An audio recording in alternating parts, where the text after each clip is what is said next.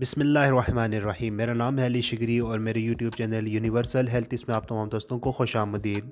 आज के वीडियो में मैं आपको एक ऐसे नुस्खे के बारे में बताऊँगा, जिसको कई लोग इस्तेमाल करते हैं और उनसे उनकी हम बिस्तरी की टाइमिंग बहुत ज़्यादा हो जाती है, जिससे दोनों लाइफ पार्टनर जो है वो मुतमिन ज़िंदगी गुजार रहे हैं। अब आप जल्दबाजी ना करें, वीडियो को शुरू से लेकर एंड तक ज़रूर देखें ताकि आप लोगों को फ़ायदा हो।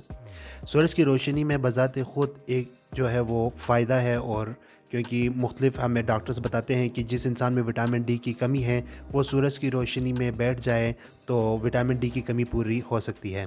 इसी तरह सूरज तुलू होने से लेकर गरूब होने तक जो सूरज की रोशनी जिस पहाड़ पर पड़ती रहती है, उस पहाड़ के जो पत्थर हैं, वो मुख्तलिफ़ कस्म के खूबसूरत पत्थरों में डल जाते हैं, जिसको हम तराश कर अपनी उंगलियों में अंगूठी के तौर पर इस्तेमाल करते हैं। इसके अलावा मुख्तलिफ़ पहाड़ों पर जो है वो सूरज की रोशनी पड़ती है। तो एक सलाजीत नाम की एक बेहतरीन जो है वो अंसर एक वहाँ पहाड़ों से निकलती है जिसको इस्तेमाल करके आप जिनसी ख्वाहिशात में इजाफ़ा कर सकते हैं। जिन मरीज़ों को हड्डियों में कमज़ोरी है, वो हड्डियाँ उनकी मज़बूत हो जाती हैं। तो ये बहुत ही बेहतरीन सलाजीद के नाम से जाना जाता है जो कि गिलगित बल्तिस्तान के पहाड़ों में वाफन मकदार में दस्तियाब है। तो जो खजूर होते हैं, खजूर बजाते ख़ुद, इसमें शिफा है। रमज़ान मुबारक में हम अफ्तारी के वक्त सबसे पहले जो गज़ा मुँह में डालते हैं, वो खजूर है। खजूर के बारे में कई अहादीस जो है वो वारद हुए हैं। तो जो लोग खजूर इस्तेमाल करते हैं, उसकी अफादियत से उन लोग लोग वाकिफ़ हैं। लेकिन हम आप, आपको बताएँगे खुश खजूर के बारे में, जिसको हरफ आम में छुआरा और इंग्लिश में ड्राई डेट्स बोलते हैं। यानी खजूर को सूरज की रोशनी में रखते हैं, जिसकी वजह से ये खुश्क हो जाते हैं और खुश्क होने के बाद इसको छुआरा कहते हैं।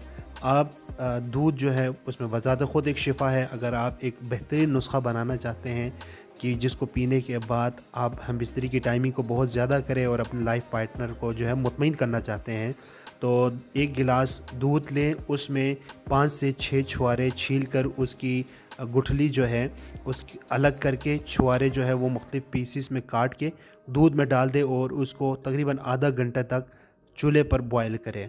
जब दूध बॉयल हो जाए तो उस दूध को किसी आ, दूसरे बर्तन में उसको निकाल लें और उसको ठंडा होने दें।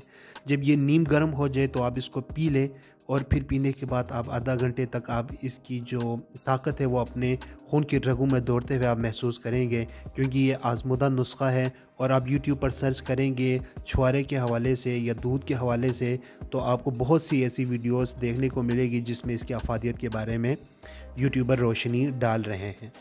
तो ये बहुत ही बेहतरीन नुस्खा है जो लोग जिनसी कमज़ोरी के हवाले से परेशान है या जो लोग जिसमानी कमज़ोरी की वजह से परेशान है, वो इस नुस्खे को आज़मा लें। तो आप एक महीने के अंदर इसका रिज़ल्ट देख लेंगे और अगर आप लोगों को इससे फ़र्क नहीं पड़ा तो आप मुझे कमेंट्स करके कहें कि भाई आपने गलत बोला है यह नुस्खा जो है, इसमें से हमें कोई फ़ायदा नहीं हुआ। क्योंकि यह फ़ायदा मंद है, देर सवेर हो जाती है, लेकिन ये बहुत ही फ़ायदा मंद है, इसमें नुकसान कोई नहीं है। दूध के अंदर छुआरे डाल के उसको गर्म करके निकाल के आप इसको इस्तेमाल करें। इन अफाका होगा। तो इन कल फिर एक और अच्छे वीडियो के साथ आप लोगों के आ, सामने हाजिर खिदमत होंगे। अब तक के लिए इजाज़त दीजिए। अल्लाह हाफिज़।